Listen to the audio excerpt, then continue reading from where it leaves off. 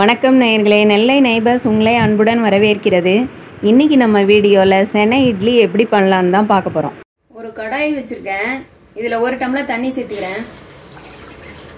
இதில் ஒரு கரண்டி கடலைப்பருப்பு சேர்த்துக்கிறேன். இது வேகட்டும் பார்க்கலாம். வெந்துருச்சான்னு பார்க்கலாம். இது பாருங்க முக்கா வேக்காடு வந்துடுச்சு. இது லைட்டாக எடுத்து நசுக்கி பார்க்கணும். முக்கா வேக்காடு வந்திருக்கு. இதோட அடுப்பை ஆஃப் பண்ணிடலாம். இந்த தண்ணியை வடிகட்டுறதுக்கு இந்த வடிகட்டியில தட்டிடலாம். இந்த தண்ணி எல்லாம் வடிஞ்சு நல்லா ஆறட்டும். பாருங்கள் பாருங்க கடலைப்பருப்பு நல்லா ஆறிடுச்சு. இப்போ இதை மிக்சி ஜாரில் சேர்த்துக்கலாம்.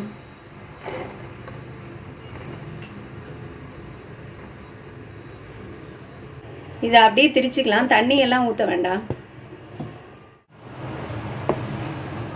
நல்லா திரிச்சாச்சு. இப்போ ஒரு கடாய் வச்சுருக்கேன். ஒரு கால் டம்ளர் தண்ணி சேர்த்துக்கிறேன்.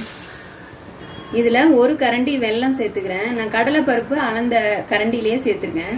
இது கரையட்டும். இதில் மூணு ஏலக்காய் சேர்த்துக்கிறேன். இதை நல்லா இடிச்சுக்கலாம்.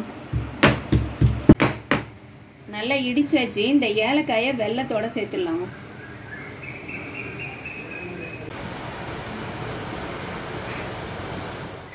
வெள்ளம் நல்லா கரைஞ்சிடுச்சு. இதை வடிகட்டிடலாம்.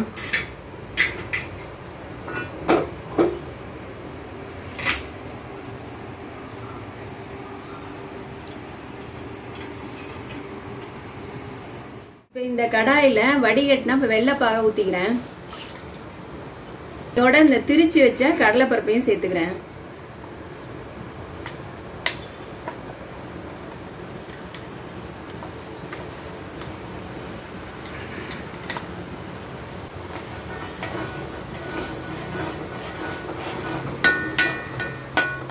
இதோட அதே கரண்டியில ஒரு கரண்டி தேங்காய் பூ சேர்த்துக்கிறேன்.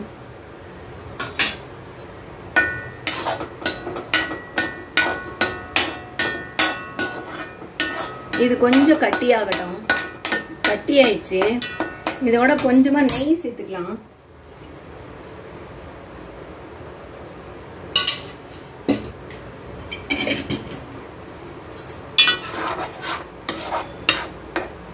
இதோட அடுப்பு ஆஃப் பண்ணிடலாம். இட்லி கொப்பரையில் கொஞ்சம் தண்ணி ஊற்றி வச்சுருக்கேன்.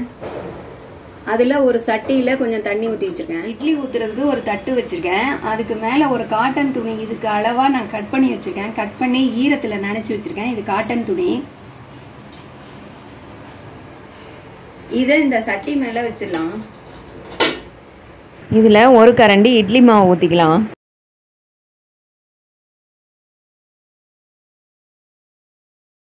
இப்போ இந்த மாவு மேலே நம்ம செஞ்சு வச்சிருந்த பூரணத்தை எல்லா மேலேயும் படுற மாதிரி வச்சுக்கலாம்.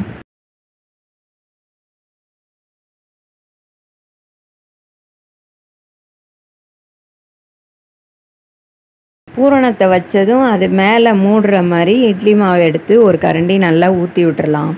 இட்லி கொப்பரை மூடியை மூடி வச்சுட்டு ஸ்டவ்வை ஆன் பண்ணிக்கலாம்.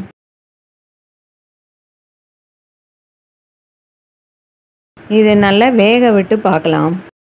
இப்போ வெந்துடுச்சான்னு பார்க்கலாம்.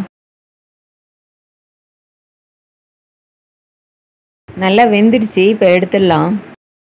இப்போ இந்த இட்லியை இந்த தட்டில் தட்டிடலாம். ஃபஸ்ட்டு இந்த இட்லி தட்டை மேலேருந்து எடுத்துட்டு இந்த துணி மேலே கொஞ்சமாக தண்ணி தெளிச்சிக்கலாம்.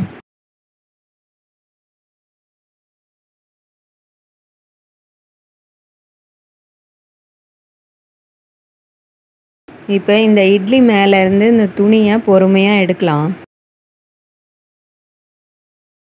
நம்ம செனை இட்லி சூப்பராக ரெடி ஆயிடுச்சு. இந்த செனை இட்லி ப்ரெக்னென்சியாக இருக்கிறவங்களுக்கு கொடுப்பாங்க. சின்ன பிள்ளைங்களுக்கும் இந்த இட்லி ரொம்ப பிடிக்கும். இந்த இட்லி பிடிச்சிருந்தா லைக் பண்ணுங்கள் ஷேர் பண்ணுங்கள் கமெண்ட் பண்ணுங்கள் சப்ஸ்கிரைப் பண்ணுங்கள் அப்படியே பக்கத்தில் உள்ள பெல் பட்டனையும் கிளிக் பண்ணுங்கள் நன்றி.